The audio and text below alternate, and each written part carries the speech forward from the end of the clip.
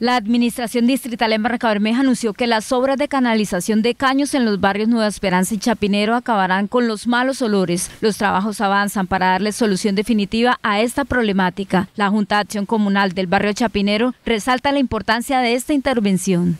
Pero ya gracias a Dios se va a canalizar este caño que Ramón Villalba por la comunidad lo tenía hace 20 años. Tenemos 41 años estar acá buscando. Sido un poco molesto, pero hoy, hoy ya vemos una realidad. Se comenzó y se va a terminar porque están los bonos, ya está la plata, ya está el contrato firmado. Esperamos que termine, porque se van a recoger muchas aguas negras de la parte de abajo que caigan caño. Les vamos a evitar los malos olores y van a bajar manigueros no va a quedar ese ruido, no va a quedar la basura.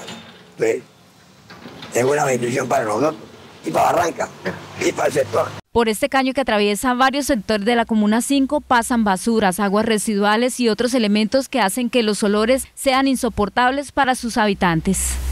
Canalizar eso es un, es un alivio para todos los que vivimos aquí en el barrio Chapinero, lógico.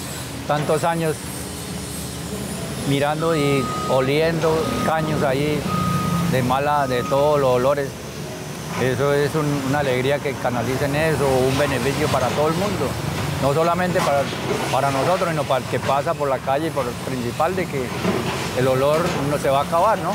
Los trabajos por estos días avanzan con la poda de árboles y la adecuación de los terrenos en los que se construirá el sistema de canalización en concreto.